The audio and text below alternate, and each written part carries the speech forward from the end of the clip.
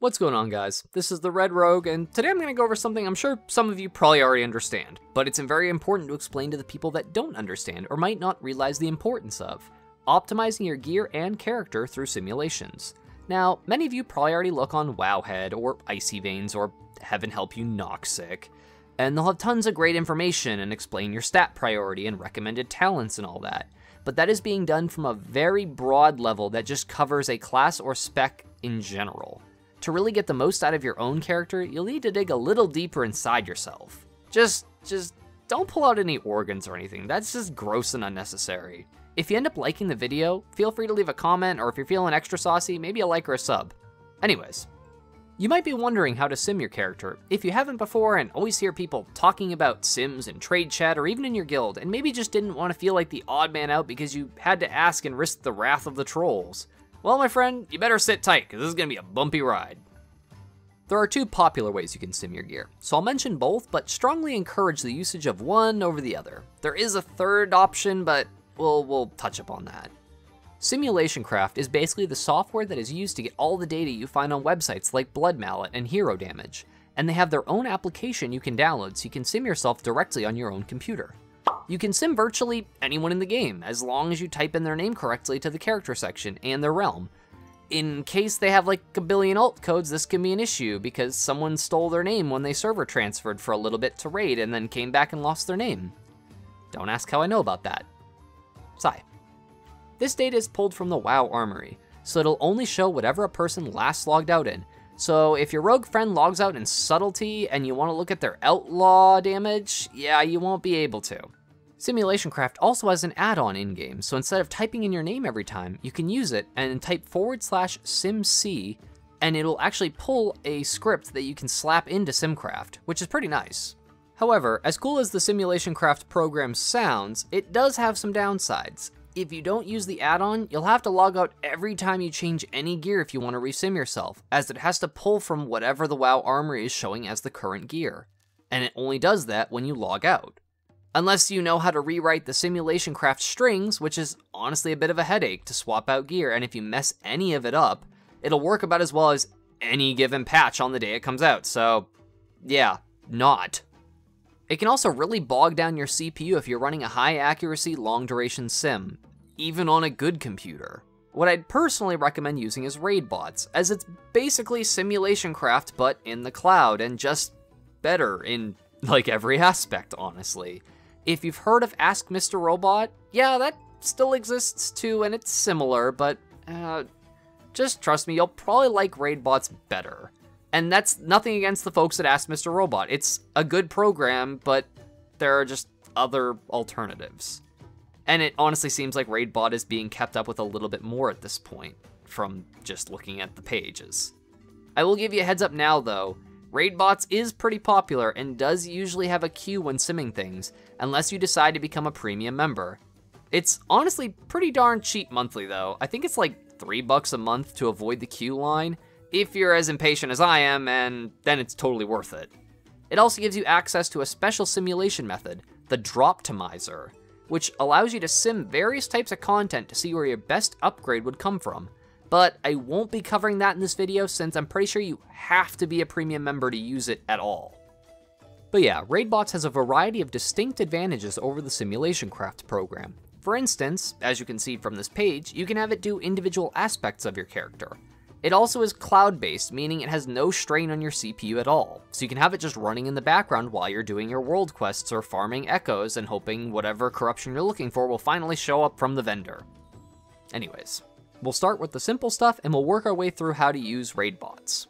We'll start with a simple quick sim. Quick sim is exactly what it sounds like, a quick simulation of how much damage your character can potentially do, and a visual breakdown of all of your moves and the percentage of your total damage that each one does.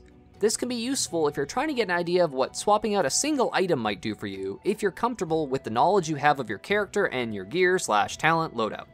When starting a quick sim, it will ask you to either enter a character name and realm, just like Simulation Craft, or if you have the SimCraft add-on I mentioned, you can simply copy and paste that information into the Load from SimC add-on section.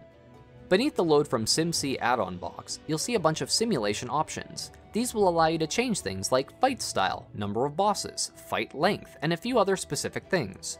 Now, this is probably the most important part of understanding how to use Raidbots, picking the correct fight style to what you're trying to simulate.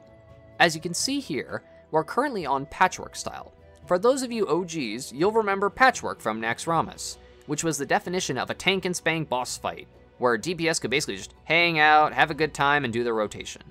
That is basically what the Patchwork sim is, so you would primarily use this to see the highest possible single target damage you would do in your current loadout. Another commonly used simulation style, especially if you've been on Bloodmallet, is Hectic Add Cleave. This one is meant to help emulate a boss fight with multiple waves of adds. To be more accurate, it is a boss fight with waves of 5 adds that last 15 seconds and spawn every 22 seconds. This is to give both AoE and single target sustained damage totals, so it tries to cover both cleave and single target damage in one simulation. There are quite a lot of options in simulation styles beyond these, but my personal preference over Hectic Add Cleave is Dungeon Slice. Dungeon Slice is a unique simulation mode to Raidbots that tries to take a literal chunklet out of a dungeon. It starts with a 2 minute boss fight, a pack of 4 to 6 mobs for 11 to 19 seconds, and a pack of 1 to 3 mobs for 26 to 34 seconds. It will alternate between the two pack styles until the simulation completes, as well as including some time of no damage at all to replicate the approximate amount of time to move between packs of mobs. This is not intended to replicate any specific dungeon, but rather to give a close to realistic approach to how a dungeon would play out in your simulations. Whew, that was a mouthful. Now that all the explanations are out of the way, we can actually get to doing some number crunching. So now we'll choose to sim what we're interested in, and being the cleave junkie that I am, I of course picked Dungeon Slice. So here we can see the simulation of my total damage and the amount of damage each of my abilities would theoretically do in a dungeon-ish scenario. It will also show you your buff uptime as well, and what buffs are currently affecting you outside of your class abilities. So when you run this, it's basically giving you the best possible scenario, with 10% of every stat buff, good flasks, augment runes, a good food buff, and using lust, so you want to take these numbers with a grain of salt if you're not doing this on your regular pulls. Stat weight sim will do basically the exact same thing, however it will also tell you how much a certain stat will impact your overall damage. These numbers should be used as a rough comparison though, as there is a chance your stat weights are exceptionally volatile, and may change just by adding an enchant or a gem of a certain type. It can give you a good idea of the direction you might want to go in for gear, but is not the definitive answer for most specs. Unless you're like, a fire mage, and then yes, you want a gazillion mastery apparently, I don't know. Talent Compare is a very niche simulation that I frankly never use, but if you really did want to only compare different talent builds, this is what you'd use to do it, since you don't have to worry about accidentally changing any other variables in your simulation. The same kind of goes for Gear Compare, as it allows you to put together multiple sets of gear to see what the changes would be, but it does let you search for pieces of gear you don't even own yet and compare them to what you're wearing, which is a pretty nifty feature, though it's kind of like a wishful thinking, like if I only had X or Y piece of gear, I would do a bajillion damage. So, cool, but yeah, I don't know. I mean, it could be useful. The option you'll probably use the most, honestly, is Top Gear. And no, not the show, but I did like the show.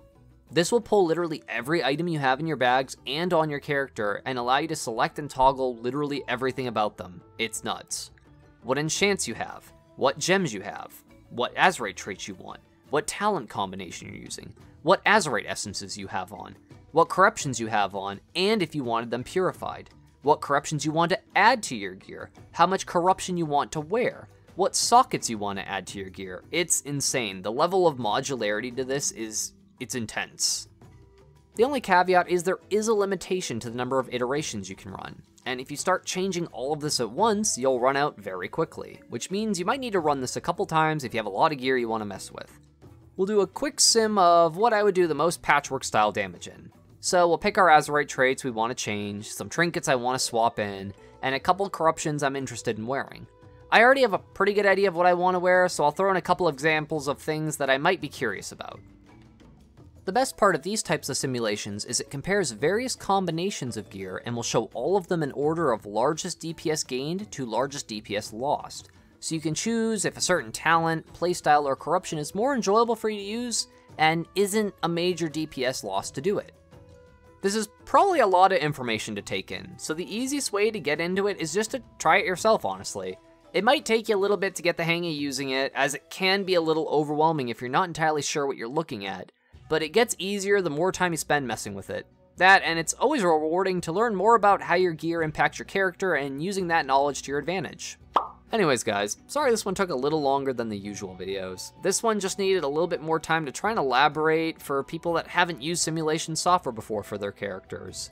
It's honestly kind of crazy the lengths we go to to improve our game performance sometimes, isn't it? I don't know, I've personally always liked looking at the numbers and information, and I really feel like it's what gave me a lot of the insight or just the desire to learn more about the game that I have. So I figured I'd share that with you all. I hope you liked the video. If so, I have a bunch of other ones already on my channel. I do weekday uploads at 6 a.m. Pacific time and usually weekend uploads too. Thank you all so much for watching. This is the Red Rogue, and I'll see you guys around.